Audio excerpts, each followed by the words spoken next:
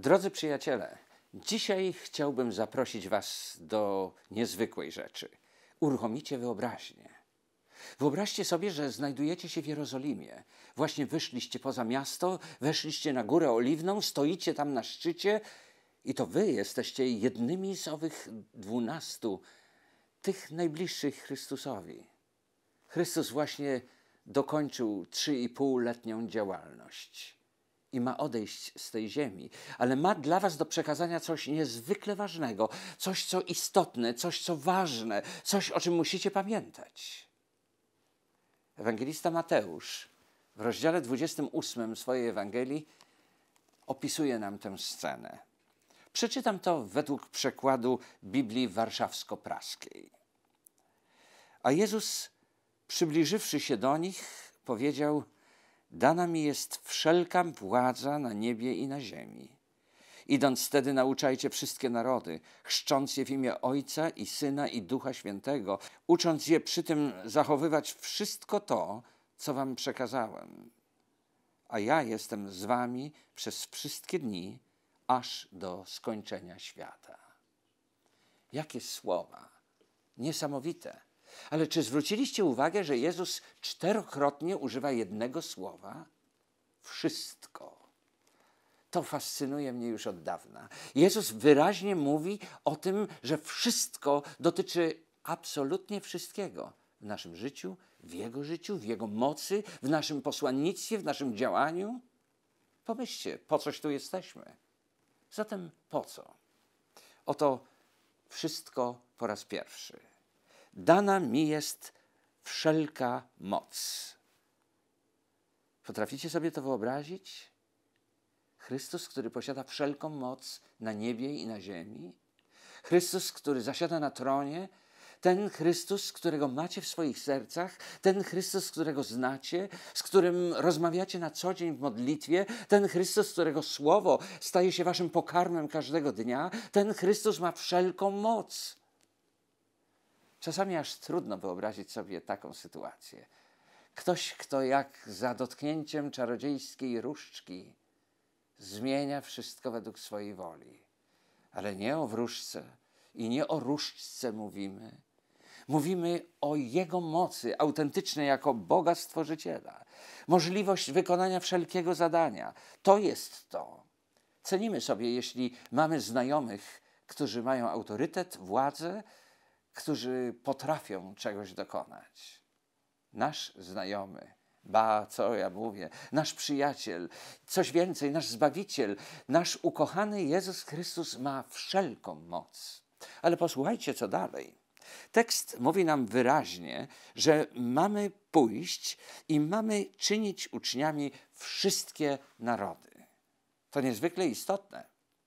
Nikt nie może być opuszczony. Każdy ma takie samo znaczenie. Dla Chrystusa wszyscy są ważni. I ci, którzy mają kolor tak jak my, biały, i ci, którzy mają kolor ciemny. Ci, którzy są czerwoni czy żółci, to nie ma znaczenia. Dla Chrystusa każdy jest ważny, każdy naród, każda postać, każdy człowiek, byle go zbawić, byle go uratować, byle mu dopomóc. To lubię u mojego Chrystusa. Wszystkie narody, objęty każdy człowiek. Nie ma żadnej obojętności, bez względu na to, czy jesteś setnikiem rzymskim, czy jesteś być może człowiekiem postawionym wysoko na urzędach. Bez względu na to, czy jesteś kobietą, czy mężczyzną. Jest to coś przepięknego. Wszystkie narody, każdy z nas. Jeśli to czuje, to zacznę to okazywać. Zacznę interesować się każdym człowiekiem. Ale to jeszcze nie wszystko. Tekst mówi bowiem o tym, że mamy pójść i uczyć ich wszystkiego. To jest trzeci raz wszystko. To wszystko, czego mamy ich uczyć, to to, czego uczył Jezus. To wszystko, czego mamy ich uczyć, to to, co nam przekazał. To wszystko, czego mamy ich uczyć, to to, co chce, aby zakorzeniło się głęboko w naszych sercach i abyśmy żyli według tego. Dlaczego wszystkiego?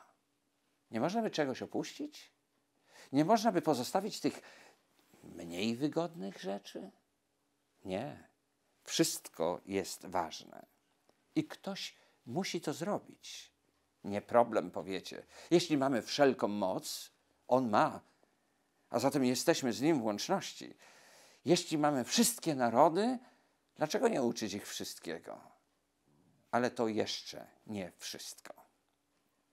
Najbardziej cenię to, co umieścił Jezus w dwudziestym wierszu, w ostatnim tekście, w ostatnim zdaniu Ewangelii Mateusza. Oto ja jestem z wami po wszystkie dni, aż do skończenia świata. Nieprzemijająca obecność Jezusa. Myśleliście kiedyś o tym, co nam to daje? Nieprzemijająca obecność Jezusa. Dlaczego taka ważna dla nas? No bo skoro ma wszelką moc, skoro potrafi wszystkiego dokonać, nieprzemijająca obecność Jezusa, czego może dokonać w naszym życiu? Może uzdrowić nasze myśli, może uzdrowić nasze czyny, może uzdrowić nasze ciała, może uczynić nas kompletnie innymi ludźmi. Tak czynił, będąc tu na ziemi, a nic się nie zmieniło. To wciąż jest ten sam Jezus. To wciąż jest ten, który absolutnie zainteresowany jest wszystkimi, z całą mocą, we wszystkim, czego nauczał. Jak długo będzie z nami Jezus? Obietnica mówi aż do skończenia świata. A kiedy będzie skończenie świata? Wtedy, kiedy powróci. A kiedy powróci? Już wkrótce. A skąd to wiemy?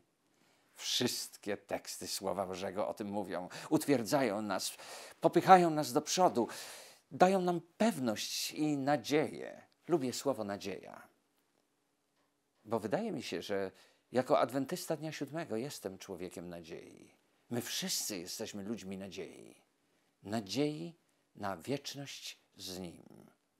A wtedy wszelka moc na niebie i na ziemi będzie naszym udziałem. Wtedy wszelkie nauki, których nauczał, staną się gdzieś głęboko w nas z prostej przyczyny.